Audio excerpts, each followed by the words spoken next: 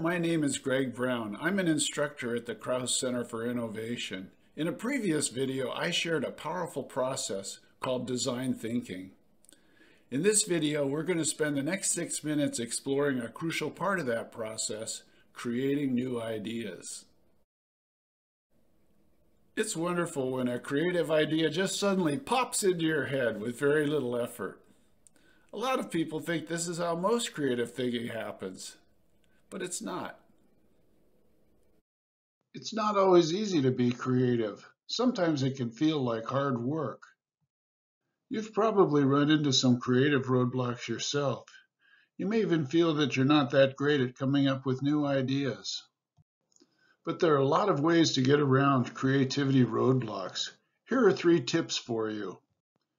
Your memory is full of wonderful ideas and experiences a familiar memory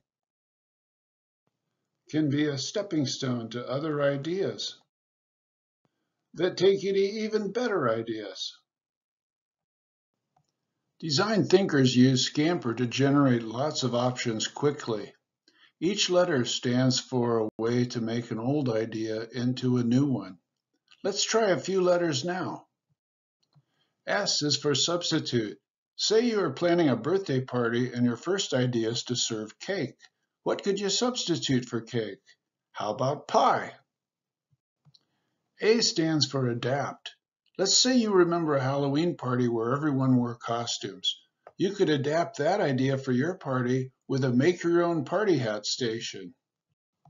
P stands for put to another use. Sometimes there are pinatas at birthdays. What if instead of breaking the pinata, you used it as a centerpiece and hid the candy in balloons that people could pop? Usually the birthday person receives cards on their birthday. What if you reversed that and gave thoughtful cards to each of your guests? You can see how Scamper helped us turn an ordinary birthday into something special. Here's tip number three. When you look at a plastic spoon, what do you see? Probably something to eat with. But a plastic spoon has lots of interesting attributes. For example, it's strong and yet it's also flexible. And everybody knows that plastic spoons make fantastic catapults.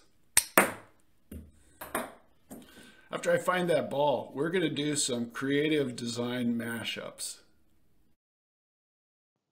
In the old days, people used fountain pens that needed to be filled with ink which often made a mess. A bank cashier designed a new pen that was inspired by a pencil. This creative mashup made pens as easy to use as pencils. That's pretty cool. I'm going to introduce you to five creative mashups. You can work on them right now just by pausing the video, or you can wait until the end when you have more time. I've included a couple of sketches at the end of the video, just in case you'd like a little inspiration. Here's the first mashup. Design a flag inspired by a kite. Say the leaders in a new country asked you to design a flag for them. They want the flag to stand out from all the rest. Pause the video now and make a quick sketch of your idea. If you want more time to think about other ideas, that's fine too. Here's the next challenge. Design a backpack inspired by a monkey. Monkeys are good at holding on to their moms. So how would you use the idea of a monkey to inspire a backpack design? Pause the video now if you like.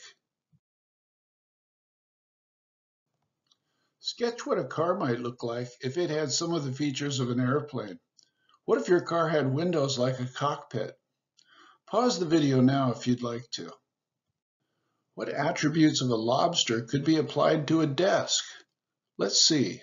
Lobsters can bend. How about a desk that can bend? What other connections can you make? Pause the video now if you want to think more about this one.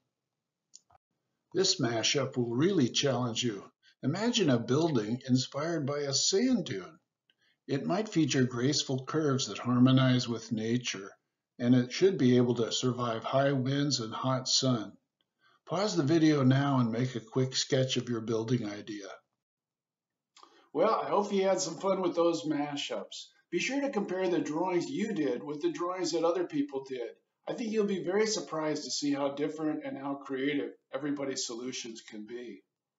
This process is something you can use on any challenge you run across. Just be sure to remember these key points. Think of ideas as stepping stones. Use Scamper to increase the number of creative options you have. Look past the obvious uses of objects and think about their attributes. Use mashups to stimulate your creative side. The most important thing to remember is that you're already creative. You just need to put those skills to use.